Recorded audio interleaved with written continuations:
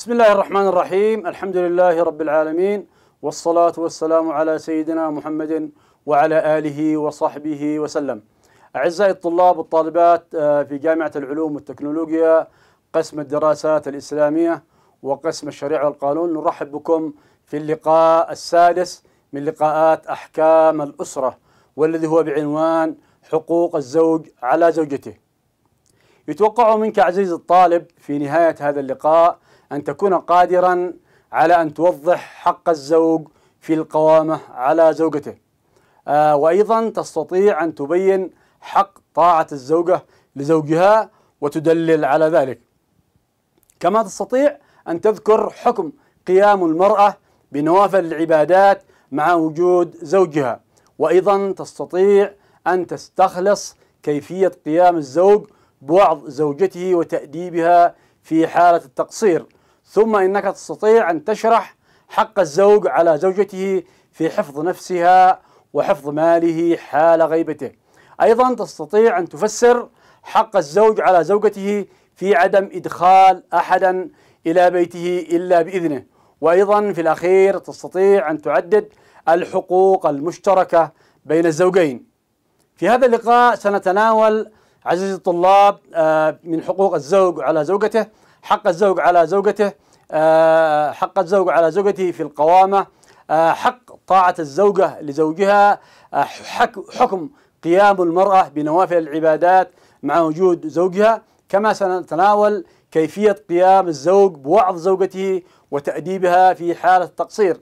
أيضا سنتناول حق الزوج على زوجته في حفظ في حفظ نفسها وحفظ ماله حال غيبته. أيضا سنتناول حق الزوج على زوجته في عدم إدخال أحدا إلى بيته إلا بإذنه. وأخيرا سنتناول الحقوق المشتركة بين الزوجين. نبدأ في حق القوامة الزوج على زوجته. حق القوامة للزوج على زوجته. قوامة الرجل على زوجته ضرورة للحياة الزوجية واستدامها فهي ضرورة وليست منة.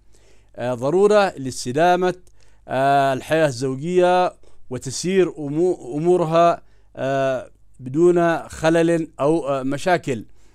شرع الإسلام اتخاذ رئيس في أقل الاجتماعات.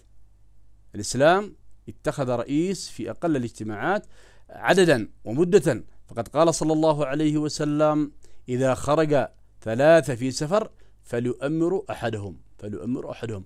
هذا آه، دليل على أهمية القيادة في الحياة.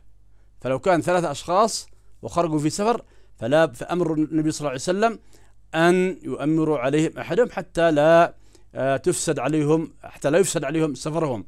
آه، فإن باب أولى الإدارة والقوامة وفي البيت. حتى لا تكون هناك فوضى فلا بد أن يكون هناك إدارة ورئاسة وقوامة. فكانت أن جعلت هذه آه، القوامة آه، للزوج. والقوامة مبنية على أساس المودة والرحمة لا على أساس العنف والاستبداد. مبنية على أساس المودة والرحمة ولكي تسير الأمور لا على أساس الإبداد والعنف والغطرسة.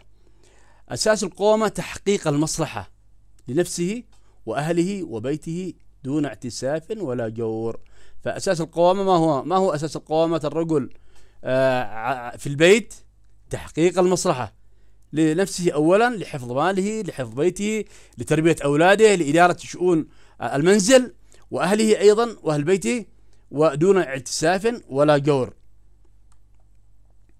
قال الله سبحانه وتعالى الرجال قوامون على النساء بما فضل الله بعضهم على بعض وبما أنفقوا من أموالهم. هذا خلاصة القول هو القوامة شرع شرعه الله سبحانه وتعالى في القرآن الكريم. فقد قال الرجال قوامون على النساء بما فضل الله. بعضهم على بعض وبما أنفقوا من أموالهم. القوامة مسؤولة مسؤولية. القوامة هي مسؤولية وليست امتياز وسيسأل عليها أمام الله سبحانه وتعالى. فلقد قال صلى الله عليه وسلم في الحديث كلكم راع. وكلكم مسؤول عن رعيته. الرجل راع في أهل بيته ومسؤول عن عن رعيته. هذا قوله صلى الله عليه وسلم. ننتقل الآن إلى حق طاعة الزوجة لزوجها. حق طاعة الزوجة لزوجها. هذا هو الحق الثاني للزوج آه، على زوجته. وأساس هذا الحق هو ما تقدم. الحديث حوله من حق القوامة. أساس هذا الحق ما تقدم من حق القوامة آه، للرجل آه، على البيت وعلى زوجته. قال تعالى الرجال قوامون على النساء بما فضل الله بعضهم على بعض وبما أنفقوا من أموالهم فالصالحات قانتات. هكذا قال الله سبحانه وتعالى. في الحديث أيضا إذا دعا الرجل امرأته إلى فراشه فلم تأته فبات غضبان عليها لعنتها الملائكة حتى يصبح. هذا دليل واضح على وجوب طاعة الزوجة لزوجها وهو حق من حقوق الزوج. في الحديث أيضا قوله صلى الله عليه وسلم لو كنت آمرا أحدا أن يسجد لأحد لأمرت المرأة أن تسجد لزوجها. لأمرت المرأة أن تسجد لزوجها. فهذه كلها أحاديث وأدلة تدل على حق طاعة الزوجة لزوجها. منها ما ورد في القرآن الكريم ومنها ما ورد في الحديث وفي السنة النبوية الشريفة. من الطاعة عدم الخروج من المنزل إلا بإذنه. ما لم تكن هناك ضرورة فالضرورات تبيح المحظورات. أيضا هذه من طاعة آه، من طاعة الزوجة لزوجها ألا تخرج إلا بإذنه إلا إذا كانت هناك ضرورة. فقد قال الله سبحانه وتعالى أسكنوهن من حيث سكنتم. أسكنوهن من حيث سكنتم. الأمر بالإسكان منهي عن الخروج كما قالوا لأن الأمر بالشيء نهي عن ضده. الأمر بالشيء نهي عن إيش؟ عن ضده. قال تعالى وقرن في بيوتكن. ولا تخرجوهن من بيوتهن ولا يخرجن. كل هذه أدلة على أن آه، تلزم المرأة بيتها ولا تخرج إلا بإذن زوجها إلا إذا كانت هناك آه، ضرورة كما قلنا فالضرورات تبيح المحظورات. من حق الزوج على زوجته قال إذا استأذنت امرأة أحدكم إلى المسجد فلا يمنعها. هذا من حق الزوجة أيضا. إذا استأذنته أن تذهب إلى المسجد فلا يمنعها من الذهاب إليه وإن كان في آه، حديث آخر أن صلاة المرأة في بيتها أفضل.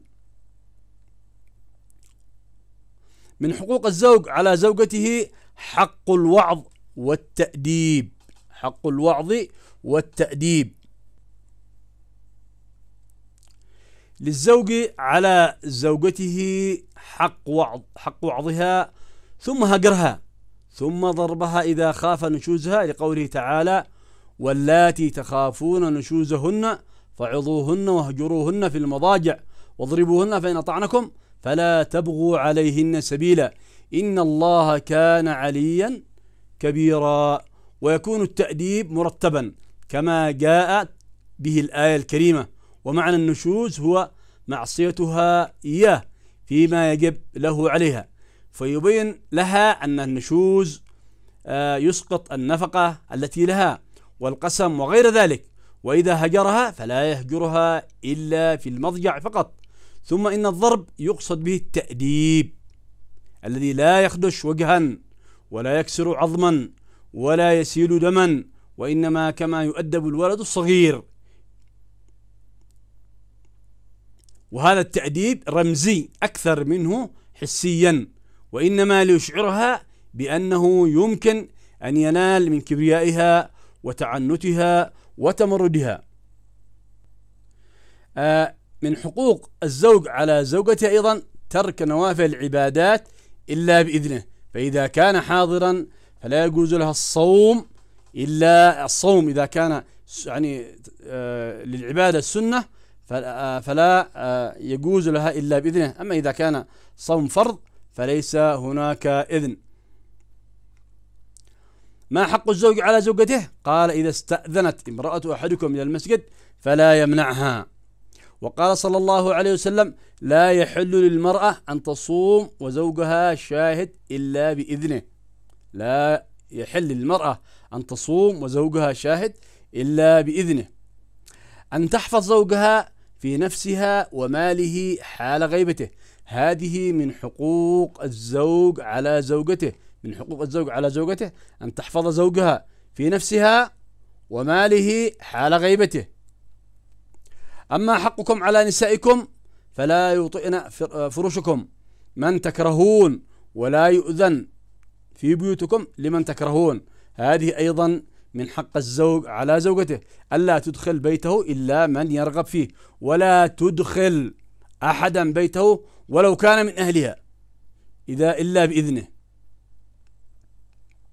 فقد قال صلى الله عليه وسلم لا يحل للزوجة أن تأذن لأحد لأحد رجلا كان أو امرأة أن يدخل بيت زوجها وهو حاضر إلا بإذنه إلا بإذنه. وكذلك النساء لا يدخلن بيته إلا بإذنه ويدخل في الحديث كل أقارب الزوج والزوجة غير المحارم لها كأخ كأخ للزوج كأخ كأخ الزوج وابن عمه. فهذا أيضا لا يجوز إدخاله بيت الزوج إلا بإذنه. ومن الحقوق الزوجية أيضا حق الزوج على زوجته حفظ مال الزوج حفظ مال الزوج حفظ مال الزوج. قال تعالى حافظات للغيب تحفظ نفسها عن الزنا وتحفظ ماله عن الضياع وثالثها حفظ منزله عما لا ينبغي من الفوضى والفساد. خير النساء إن نظرت إليها أسرتك. وإن أمرتها أطاعتك.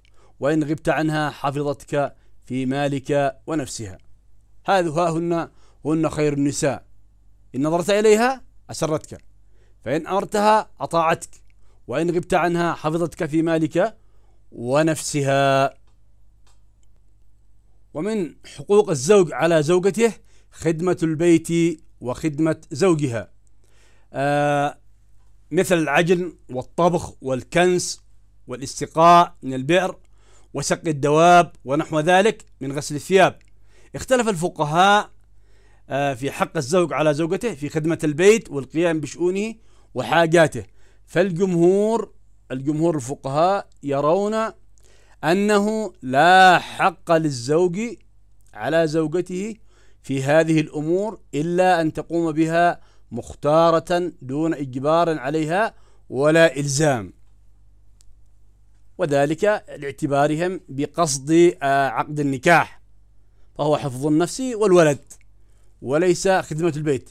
هذا يعني آه، ولكن هناك خلاف لهؤلاء الجمهور من العلماء منهم آه، الحنفية يقولون أن أعمال البيت وخدمته واجبة عليها ديانة وإن كان لا يجبرها عليها القاضي. إذا الحنفية يخالفون الجمهور في آه، حق الزوج على زوجته في خدمة بيته وخدمته فهم يقولون أن أعمال البيت وخدمته واجبة عليها ديانة. وإن كان لا يجبرها عليه قضاء كيف لا يجبرها عليه قضاء عن أن القاضي لا يلزمها ولكنها يعني تقوم بذلك ديانة وطاعة إلى ربها. أما المالكية فلهم رأي آخر فهم يقولون إذا لم تكن أهلا للإخدام إذا كانت مثلا في بيتها في بيت أبوها آه لا تخدم أو كانت أهلا لكن الزوج فقيرا وهي هي رضيت بذلك ورغبت به وقبلت به آه زوجا لها وهي تعلم أنه فقيرا فعليها الخدمة. فعليها الخدمة الباطنة يعني في البيت. أي داخل البيت الباطنة يعني داخل البيت. ولو غنية ذات قدر ولو كانت غنية ذات قدر. ولو كانت غنية ذات قدر وهي تعلم أن زوجها فقير لا يستطيع أن آه، يحضر لها آه، خادما أو شغالة آه، فإن عليها أن تخدم داخل البيت من الكنس والطبخ وغسل الثياب وغيره وليس عليها خارج البيت. هذا هو قول المالكية. إذا لدينا أقوال الفقهاء في حق الزوج على زوجته في خدمة زوجها. من ذلك أيضا قول للحنابلة. ماذا يقولون الحنابلة؟ يرون أنه بعد تقريرهم عدم خدمتها لزوجها ولكن الأولى لها فعل ما جرت به العادة عادة الناس وأعرافهم في كل بلاد وفي كل زمان ومكان. بقيامها به لأن العادة لا تنتظم المعيشة بدونه ولا تصلح الحال إلا به. فكان من عادة إذا كان من عادة الناس أن تقوم المرأة بخدمة بيتها ويكون هناك تعاون بين الزوج والزوجة فالزوج يقوم آه، بإحضار ما تحتاجه البيت من طعام وشراب ومسكن وكسوة ومؤونة العلاج وغير ذلك. والمرأة تقوم بتربية الأولاد وحفظ البيت وتنظيفه وإعداد الطعام وغيره. فهذا مما جرت به عادة الناس وأعرافهم. قال بعض الفقهاء منهم ابن تيمية من الحنابلة يجب على الزوجة خدمة زوجها بالمعروف. إيش معنى بالمعروف؟ بما تعارف عليه الناس من مثلها لمثله ويتنوع ذلك بتنوع الأحوال بتنوع حال الزوجة وحال زوجها. ولكن يقول أنه يجب عليها خدمة زوجها بالمعروف بما تعارف عليه الناس. هذا هو قول ابن تيمية من الحنابلة. آه يستدل على ذلك بقول أن فاطمة رضي الله عنها بنت رسول الله صلى الله عليه وسلم أتت النبي تسأله خادما ما فماذا كان قوله صلى الله عليه وسلم لها؟ قال ألا أخبرك بما هو خير لك منه؟ تسبحين الله عند نومك ثلاثا وثلاثين وتحمدين الله ثلاثا وثلاثين وتكبرين الله أربعا وثلاثين هذا خير من طلبها التي طلبته طلبت إيش؟ خادم يعينها. آه واستدلوا أيضا بحديث أسماء بنت أبي بكر رضي الله عنهما آه عندما كانت إيش؟ آه تقوم آه بخدمة آه يعني زوجها الزبير بن العوام رضي الله عنه. إلا أن الجمهور حملوا حديث أسماء على أن ذلك كان تطوعا منها. كان تطوعا منها ولم يكن ذلك عليها واجبا. ولم يكن ذلك عليها واجبا إذا نحن أخذنا قول جمهور الفقهاء آه، في مسألة خدمة المرأة لزوجها وهو أنه لا يجب عليها آه، لا حكما ولا لا, لا قضاء ولا ديانة بينما الحنفية يرون أنه آه، يجب عليها ديانة ولا يجب عليها قضاء. المالكية يرون أنه إذا كانت ممن لا تخدم وليس وليست أهلا للخدمة أو كانت آه، كذلك ولكنها زوجها فقيرا وكانت تعلم ذلك فإنه يجب عليها خدمة البيت في آه، خدمة زوجها في بيته الباطن في البيت. وأما آه، ابن تيمية والحنابلة فإنهم يرون أن خدمة المرأة لزوجها في بيتها يكون بالمعروف. نأتي الآن إلى قانون الأحوال الشخصية اليمني وماذا أخل في حقوق الزوج على زوجته. فقد نصت المادة 37 من قانون الأحوال الشخصية اليمني على أن للزوج على زوجته حق الطاعة فيما يحقق مصلحة الأسرة وعلى الأخص فيما يأتي. الانتقال معه إلى بيت الزوجية. لقول الله سبحانه وتعالى أسكنوهن من حيث سكنتم ما لم تكن قد اشترطت عليه في العقد البقاء في منزلها أو منزل أسرتها فيكون عليها تمكينه من تمكينه من السكن معها والدخول عليها. المسلمون إيش؟ عند شروطهم. اذا هذا آه، في المادة 37 يعني على الزوجة طاعة زوجها. اولا في الانتقال معه إلى بيت الزوجية ما لم يكن هناك شرط آخر. ثانيا تمكينه منها إذا كانت صالحة للوطء في القبل في غير حضور أحد. وهذا حقه عليها. وهذا ما ذكره أو أورده آه، آه، القانون في حق الزوج على زوجته. أيضا امتثال أمره والقيام بعملها في بيت الزوجية مثل غيرها. فالقانون هنا أخذ خالف الجمهور وأخذ برأي آه، بعض الفقهاء الذين يقولون أنه على المرأة أن تخدم في بيت زوجها زوجها ولكن كما قال مثل غيرها يعني بالمعروف من مثلها لمثله. أيضا ورد أنه من حقوق الزوج على زوجته كما ورد في المادة 37 عدم الخروج من منزل الزوجية. إلا بإذنه وليس للزوج منع زوجته من الخروج لعذر شرعي فهذا ليس له لأن الضرورات كما قلنا تبيح المحظورات ولكن عليها عدم الخروج من المنزل إلا بإذن زوجها. الآن نأتي إلى موضوع جديد وبعدما أن تكلمنا عن حقوق الزوجة في آه، اللقاء السابق وتكلمنا عن الصداق وتكلمنا على النفقة وتكلمنا على السكن وتكلمنا آه، على حسن العشرة وتكلمنا على آه، العدل. ثم في هذا اللقاء تكلمنا على حق الزوج وهو حق القوامة وحق الطاعة وحفظ المال وحق الوعظ وأيضا قلنا حفظ المال وحفظ آه، وحفظها حفظ المرأة حين غيبته. وأيضا ألا تدخل بيته من لا يرغب فيه. وأيضا خدمة خدمتها لزوجها في بيتها. الآن ننتقل إلى موضوع جديد وهو الحقوق المشتركة بين الزوج والزوجة. ما هي الحقوق المشتركة بين الزوج والزوجة؟ قال الله سبحانه وتعالى ولهن مثل الذي عليهن بالمعروف. يعني عليها واجبات ولها حقوق. تكلمنا عن حقوقها وتكلمنا عن الواجبات عليها الذي هو حقوق الزوج. الآن ما هي الحقوق المشتركة بينهن؟ أولا حل الاستمتاع فيحل للمرأة أن تستمتع بزوجها ويحل للرجل أن يستمتع بزوجته. هذه من الحقوق المشتركة بينهما. وهذه أيضا هي من مقاصد النكاح. الاستمتاع بكلا بكلاهما من الآخر هي من مقاصد النكاح. أيضا حرمة المصاهرة. فلا يجوز للزوج أن يتزوج بأم زوجته ولا ببنتها ولا أيضا يجوز أيضا الزواج الرجل بزوجة أبيه ولا الرجل أن يتزوج بزوجة ابنته مثلا بعد وفاته. أيضا من حقوق من الحقوق المشتركة ثبوت النسب ثبوت النسب. فالعقد والزواج فكما ورد في الحديث الولد للفراش وللعاهر الحجر. فإذا كان يعني آه، هناك ولد بينهما فإن الولد ينسب لأبيه في حالة العقد وفي حالة الزواج.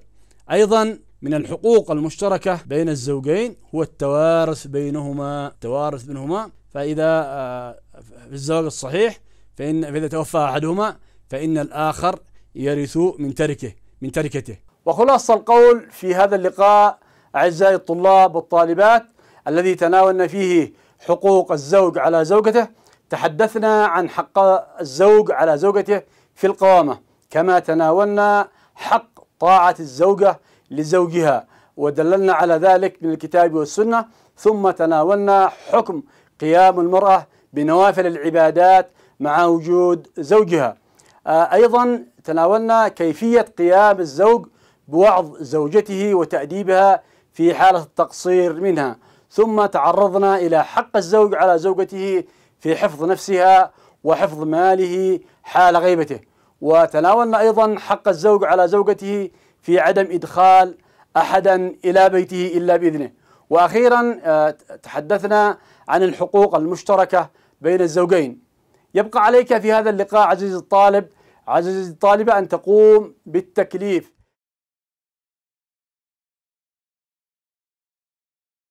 إلى هنا نكتفي بالقول. نستودعكم الله.